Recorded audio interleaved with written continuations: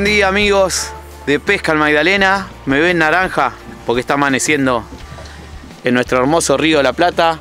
Lunes 12 de junio del 2023. Una mañana muy, muy, muy fría. Ya venimos de tres días bastante fresco. Viento pampero. Así que nos vamos a poder largar pegados a la orilla. Que es la, la manera que a mí más me gusta pescar el pejerrey. Y paré en esta zona porque esa planta me encanta y ahora le voy a explicar un poquito de qué se trata. ¿Eh? Está creciendo el río, estoy viendo porque nos está, nos está llevando más para la orilla. Y, y bueno, capaz que terminamos esta introducción en la barranca. Pero bueno, lo que le quiero mostrar es esta planta que sobresale al monte nativo. Fíjense que sobresale, pero por más del doble de la vegetación del lugar. Esta planta se llama ciprés de los pantanos. Nos encanta, a mí me gusta esta planta porque desde el agua la vemos que sobresale y que tiene un contraste y es un punto de referencia para la pesca en la zona, pues sabemos por dónde estamos, se ve desde, desde bastante afuera y, y es una hermosura. Es originaria del sudeste de Estados Unidos, así que fíjense si no es un hallazgo esto acá. Puede llegar a alcanzar 40 metros de altura y fíjense las raíces. ¿Ven eso que emerge? Bueno, emerge en busca de oxígeno. Y es una planta de zona inundable. Se dice que pudo haber venido una semilla con el río y haber germinado ahí. O la otra posibilidad es que alguien la haya plantado, pero no creo porque eh, es difícil. Difícil porque, eh, o el que la plantó sabe dónde hay que plantarla porque tiene que ser estas características. Zona inundable y, bueno, ahí, ahí están con las raíces adaptadas a, a que se pueda sostener en pie en una zona erosionable. Bien amigos, no tenemos la línea en el agua, así que en esta introducción no van a ver ningún pique, pero quería mostrarles esta belleza de la naturaleza que lo tenía pendiente, que hacía rato que, que les quería hablar de, de, esta planta, que me fueron asesorando gente conocida a ver qué, qué planta era y qué las características. Y, y, bueno, en el Instagram mío había publicado las historias de cuando, cuando la, la filmé con el cel una vez y pregunté bien qué era y ahí me, me asesoraron gente experimentada. Hoy estoy con, con el invitado de la fecha, mi amigo Agus. Nos está llevando la ola bien a la... ¿Quiere que pesquemos de costa la ola, amigo? Sí, la verdad que sí. ¿Cómo anda, amigo? Bien, ¿vos? ¿Fresco? Sí, pero un día espectacular, mira. Sí, está muy lindo. Ahora vamos a salir un poquito, vamos a volver a buscar un poquito de agua para que el vientito nos saque y no nos tire a la barranca. Ya la introducción la hicimos, amigo. Había que mostrar esa, esa obra de arte sí, la verdad. del creador que siempre nos llama la atención y, y bueno, mostrado para nuestro público. Ahora vamos a ver si mostramos los pejerreyes del Río de la Plata. Algún pique lindo. Vamos, amigos. Bueno, amigos, tuvimos como dos horas y pico para que empiece la actividad con Agu. Buen pescado, amigo. Buen pescado. Es el tercero. Ahora sí, se largó a comer. Tenía que calentar un poquito el... Tenía que calentar un poquito el... Estábamos sufriendo porque que no, que no se vaya a caer ese pescado al agua que viene de la, de la trompis, amigo. Sí. Empezó a comer ahora el pescado, el agua en 10 grados acá, en la orilla estábamos en 7 grados, no teníamos un pique. Miren todo lo que tuvimos que garetear, ¿se acuerdan? Allá la planta. El ciprés de los pantanos que le explicamos en el arranque. Nos largamos ahí. La creciente nos trajo. El pampero nos fue sacando. Y recién acá tuvimos tres piques seguidos. Por suerte. Y una de las cosas que le, que le dije a Agu que encarne poco. Porque acá hay muy buen pescado, pero no quiere mucha carnada. Y está comiendo re, re suave, re tímido y re mal. Así mostramos el primer peje que salió para la cámara.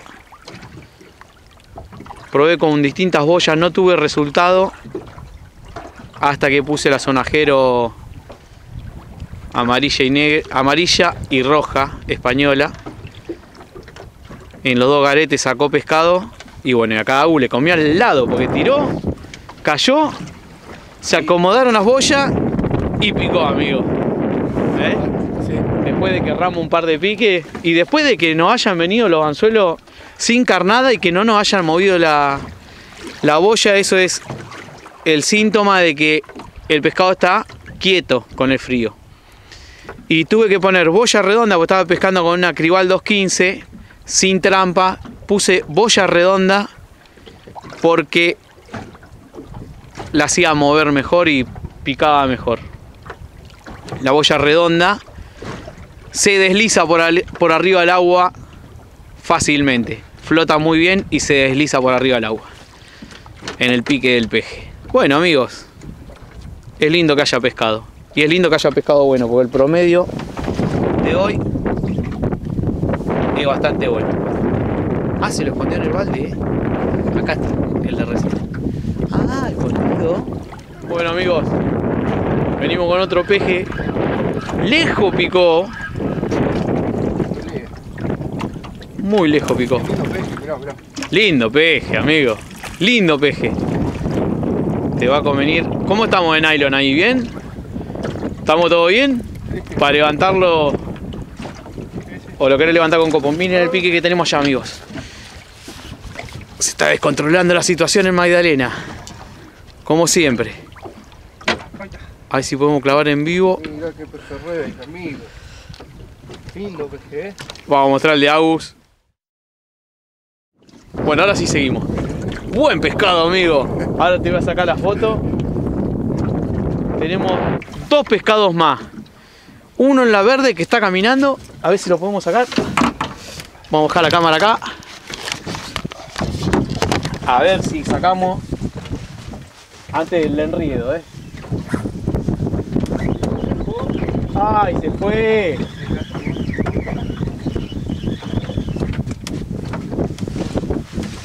Está comiendo por ahora, está comiendo bastante sutil. Muy lindo, amigo.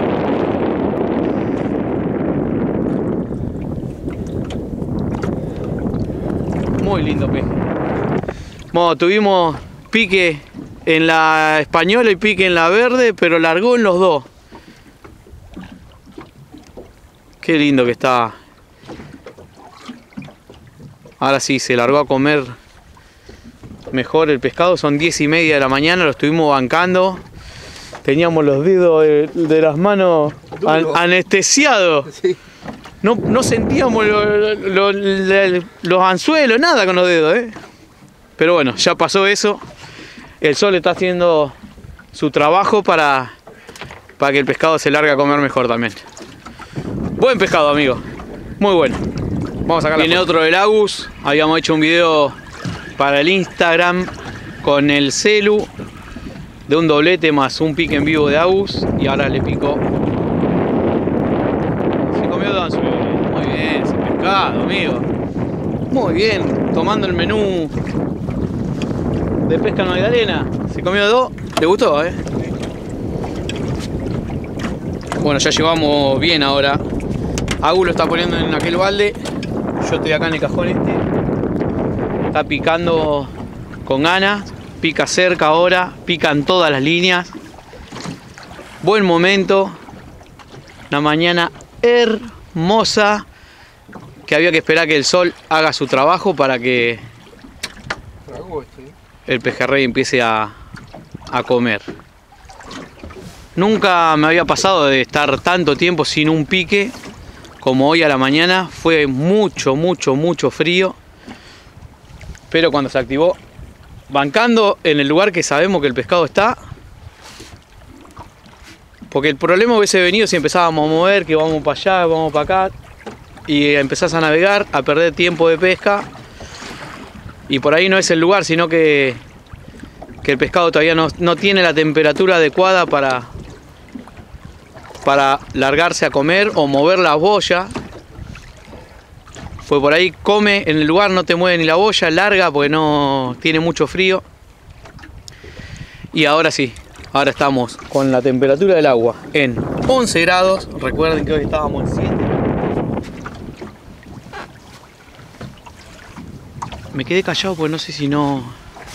Tiene una gana de picar la verde acá al lado del bote. Recién picó al lado del bote también.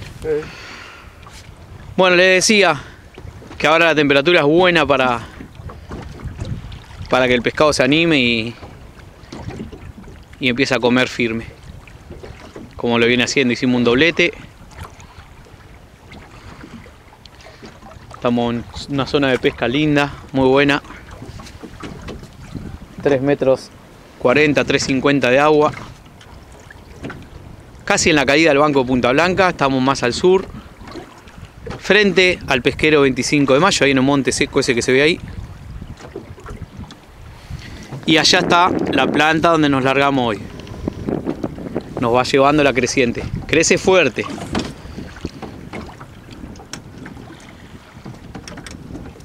Eso es todo. Vamos a ver si si seguimos con esta actividad, amigos, para mostrarles los pejerreyes del Río de la Plata, mes de junio, mes donde las temperaturas del agua ya baja, donde las temperaturas del ambiente empieza a bajar y una hermosa helada esta mañana. como dijo Agus, una hermosa helada esta mañana y eso es lo que hace que el pescado tarde un poquito más en activarse, pero el pescado está Sí, mucho pejerrey en el río, mucho. y pescado lindo. Sí, entró pescado bueno, porque son todos pescados de medida los de hoy. Y parejito, sí. Bueno amigos, Y ahora se largó a comer bien, está comiendo franco. sí. Traga. Sí, Sin está. decisión ahí como el que sacó Agu, que se comió dos anzuelos, ahora sí está comiendo bien el pescado.